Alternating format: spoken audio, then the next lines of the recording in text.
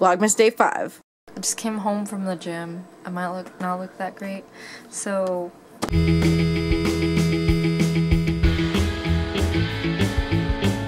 I'm glad I got my food ready last night because I got to get out of here, go get some gas, and hit the road to work. It's 8.30 right now. I just finished recording my cash stuffing envelopes video so that I can take that money and go get some gas. I think it's going to be kind of a short day at work, so we'll see how it goes. We gotta go get our tickets validated.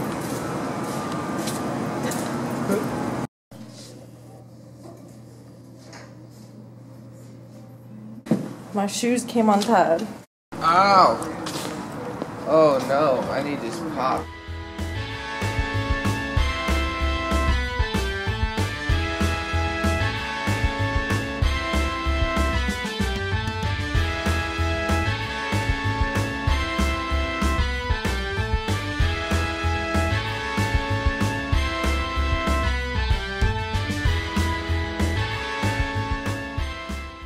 Experience points. I'll go around.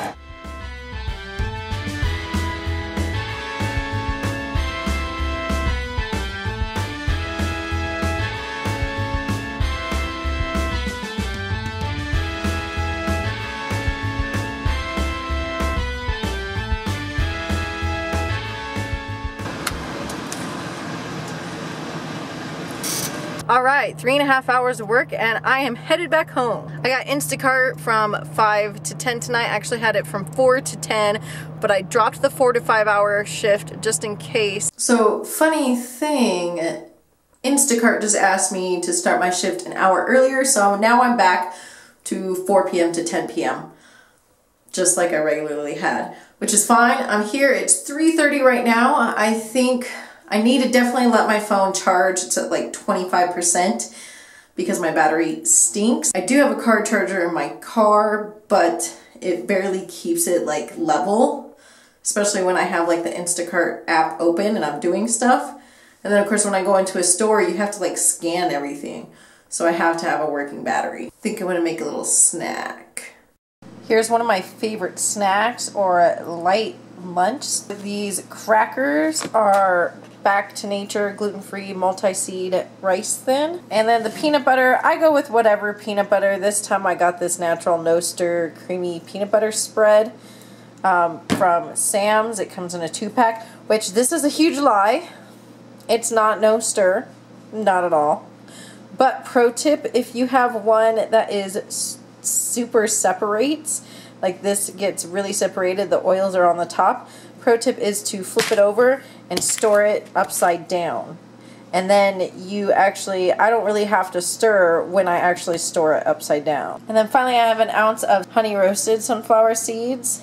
And it's this, it's almost a pound, 14 ounces. Um, it's a lot. It actually lasted me a really long time. The first ones I got was salted or lightly salted, um, but they didn't have those.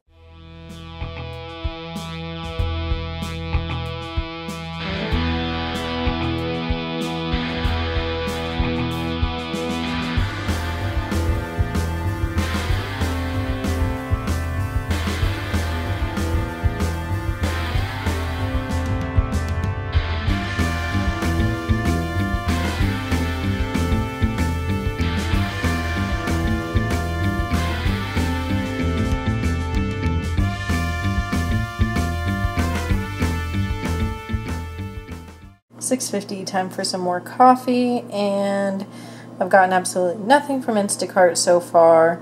I want to show you guys this real quick. I just finished doing dishes, but I just did this, so they sat overnight until right now. And so I just took them off of the tray and bagged them up. I labeled them, and that's from a thawed temperature. I think you can just bake it straight from frozen. You just add a couple more minutes. But I just wanted to show you guys that's why I do it on the tray first. It's called, I think, flash freezing. And then package it in here and they shouldn't stick together, ideally. Uh, I do need to go down to Sprouts to get some stuff before the sale ends. So we'll see if Instacart will give me anything based off of proximity or if there's just nothing today. I don't know how dark it is in here, but I actually got an order when I was at Sprouts, so I'm wondering if you do have to be closer. Some people have said it doesn't matter where you are, you'll still get batches, and I'm not sure if that's true or if you need to be with, like really close to where the store is that is going to have you shop. I finally made it to my mom's. Is this yours? Yes. Why didn't you make one like this? That one's yours. Yes. It is mine. Tell me what you put in here. I put in some organic peanut butter. Put in some chia seeds. I put some almond milk and frozen bananas and this hemp protein by Nutiva. Ooh. There you go. Chocolate.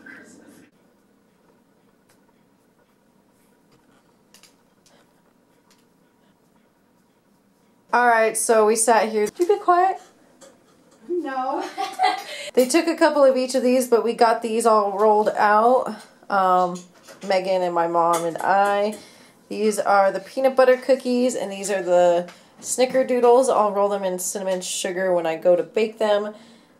The peanut butter made 79, and the snickerdoodles made 112. It is way too late again, but I feel like I got some things done. But I have a whole bunch of things on my plate for tomorrow. I did make a list of everything I need to do. I think it helps a little bit. And I also have a list of all the different things I need to get at different stores I've got to go to.